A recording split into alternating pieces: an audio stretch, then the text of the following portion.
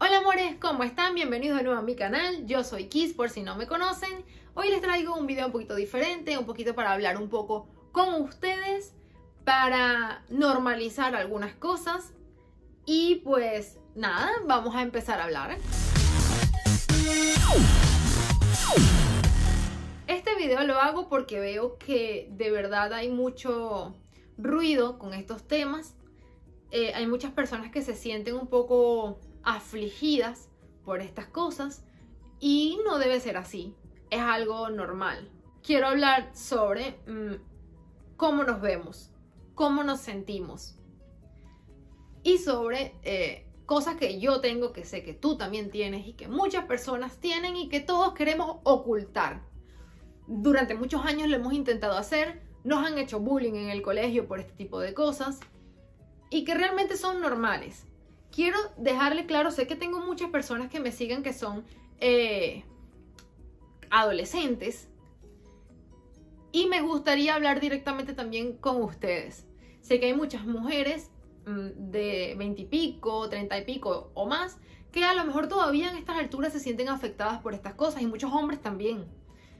Entonces quería hablar sobre ello. Yo me sentí en algún momento muy afectada con estas cosas, sentía que me sentía mal porque me decían que si, ay, eh, yo estudié en un colegio con falda, me decían como, ay, no te depilaste las piernas, o ay, mira el cauchito que tienes allí, o ay, este, tienes estrías aquí, yo tengo estrías por aquí desde siempre.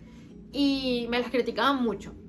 También me llegué, era una niña que tenía eh, bozo, las cejas un poco gruesas, y también me lo criticaban. Estuve un tiempo en mi niñez, porque eso fue antes de los 12 años, gordita, y me hacían eh, comentarios como parece un globo terráqueo, estás gorda, eh, no sé qué, y cosas así, y esas cosas no deben suceder, y si suceden, no te deben afligir. ¿Por qué? Porque la celulitis es normal.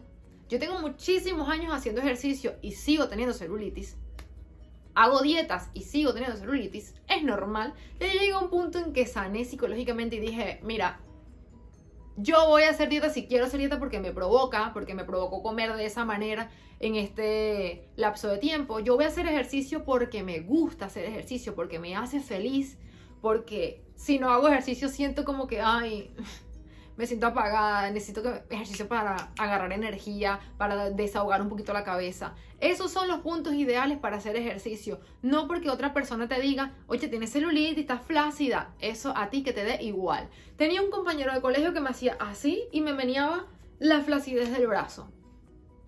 Eh, no sabes cuánto daño le puedes hacer a una persona por hacerle este tipo de cosas. Pero, compañeros, amores, es normal todos tenemos un poquito de flacidez, todos tenemos celulitis, todos tenemos estrías. Yo era una niña que no me enseñaron desde pequeña a aplicarme cremas y me llené de estrías. Tengo estrías por aquí, tengo estrías por acá, tengo estrías por la cintura. Ya no se quitan. Yo desde que entendí que tenía que hidratar mi piel, me la he venido hidratando siempre. Yo me baño y me echo un potingue de crema. Hay que inculcarle a nuestros hijos la hidratación de la piel. Pero es por su salud, no porque les va a salir estrías y otros lo van a criticar. Es por su salud, ¿vale? Porque es bonito tener una piel hidratadita y toda la cosa. Al principio yo me sentía afligida por esto, no me ponía trajes de baño porque decía, uh, que se me ven las estrías. Ya luzco mis trajes de baño y me pongo pantalones por aquí cortos y me da igual. Este, la celulitis, yo antes no usaba chores porque se me veía, tengo un cauchito debajo de la nalga y se me veía. Y me mataba haciendo piernas para quitarme el cauchito. Ya me da igual. Ya me pongo mi short y me da igual todo.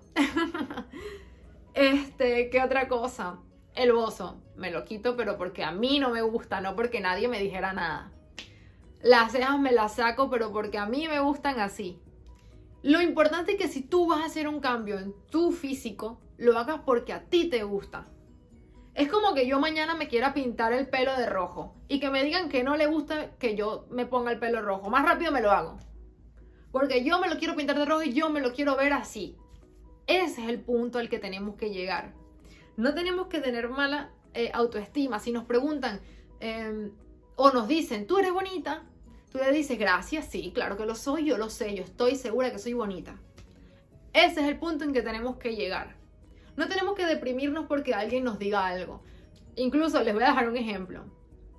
Yo cuando estaba pequeña que me decían, ay, que estás gorda, yo no me lo tomaba a pecho. Eso sí les voy a decir que no me lo tomaba a pecho. Lo de las estrías y lo de la celulitis sí. Pero lo del gordo no, porque yo siempre tenía una cintura pequeña y me da risa porque cuando me decían eso, yo le decía cosa que también está mal. Ojo, no podemos criticar a los demás. Yo estoy gorda pero tengo cintura y tú no. El punto es, no es que le digan estas cosas a otra persona, es que tú entiendas tus fortalezas y te afinques en tus fortalezas. No es que se las recalques a otra persona, es que te las recalques a ti misma o a ti mismo como persona. Lo importante es que tú tengas tu autoestima bien alta y que no andes por las redes sociales diciendo, ay, qué fea soy, nadie me quiere, ay, que no sé. No, no, no, no. Yo soy hermosa. Tienen que trabajar durísimo para poder estar al lado de mí. Como pareja, no como ¿Entienden? o sea, mi punto es que te quieras, que te olvides de lo que sea que te digan las demás personas, que la celulitis es normal, que las estrías son normales, que los vellos faciales y de las axilas son normales. También me criticaron mucho que tenía las axilas grises. Yo no usaba camisas de tirita. Ahorita la tengo puesta, pero porque, ajá, porque casualmente hoy me puse esta camisa de manga. Pero ahora sí uso camisas de tirita. Uso camisas, eh, straples así, sin mangas ni nada. Me da igual. Porque ya trabajé en eso. ¿Por qué tenía las axilas negras? Porque usaba mucha afeitadora, tengo la piel delicada. Se me manchó porque tenía los vellos muy negros, muy oscuros también y se hacía sombra. Ahora se los dejo también de consejo si tienen este detalle, recomiendo, o si no se lo quieren quitar los vellos, no se los quiten, ojo, pero que si tienen este detalle, les recomiendo yo, por ejemplo, cambié de la hojilla de afeitar a la cera y de la cera me compré luego una maquinita que quita los pelos como si fueran pinzas. Duele, sí, pero te acostumbras. Pero esto es si quieres. Si no quieres, da igual. No tomes la opinión de los demás. Yo lo hice porque yo misma me sentía cohibida y busqué una manera de cambiarlo. Porque el detalle no es echarte en una esquina a llorar, sino cambiar lo que tú piensas que te va a hacer mejor a ti como persona. Y así como te digo todo esto de la autoaceptación, también date cuenta que a veces muchas personas de las que nos sentimos afligidas por ciertas cosas, afligimos también a los demás. Porque como sentimos esa incomodidad hacia nosotros mismos, queremos herir a otros. Entonces, ojito también con eso. Tengan cuidado con lo que le dicen a los demás, porque hay palabras que hacen daño, que lastiman y que no es necesario de verdad. Entonces, nada, el tema de este video era ese, era hacer un poquito de conciencia, tratar de fomentar el amor propio, la aceptación de que todos tenemos eh, defectos que nos hacen perfectos imperfecciones que nos hacen perfectos, que nos hacen ser quienes somos nosotros mismos. Yo, eh, mi pelo no es así, mi pelo es rizado, pero yo decidí tenerlo así porque a mí me gusta. Pero hay muchas mujeres con su pelo rizado que se les ve hermoso. Incluso yo misma me he visto con el pelo rizado y también me parece bonito. Pero así me parece más cómodo porque me paro de la cama y no me peino. pero entienden, el punto es porque yo quiero, no por lo que piensen los demás. Eso es lo que tenemos que hacer. Muchas veces también, yo me estaba despidiendo y les estoy hablando otra vez, pero es que este tema me parece interesante. Les dije que era un video corto, pero bueno, no prometí nada. Muchas veces me criticaron también por esto, por mi nariz. Me hicieron muchos eh, comentarios. Y yo les voy a decir una cosa, yo no me operaría la nariz. A lo mejor, si porque tengo algún problema de respiración o algo y me la tengo que operar, bueno, háganle. Pero que yo lo decida por, por mí misma, mira, me voy a meter en un cirujano que me... No, o sea, no. Sí, yo me operé las boobies, pero es porque yo quise, porque me dio la gana, porque me nació. pero no por críticas de nadie. Entonces es lo que les digo, ignoren todos los problemas y todo lo que diga la gente. Que les ruede.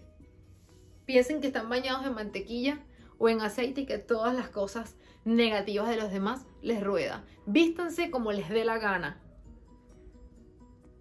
Usen sus vellos como les dé la gana. Tienes celulitis, pero te da igual y te quieres poner un mini short, ponte tu mini short, que te dé igual. Te voy a decir una cosa, la vibra de la persona y la belleza de una persona es la actitud. Tú te sientes bella y la gente te ve bella o bello.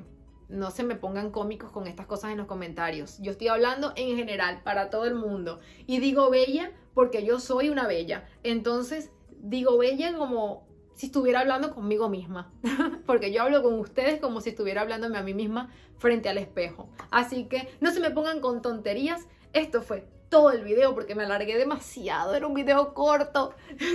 si les gusta que hablemos así en este plan, díganmelo. Tengo bastantes temas que me gustaría tocar. Me gustaría también que ustedes me dejen en los comentarios si tienen algún, algún tema pensado que les gustaría que toque. Y yo con muchísimo gusto lo voy a hacer. Me despido, les mando un besote enorme y hasta la próxima.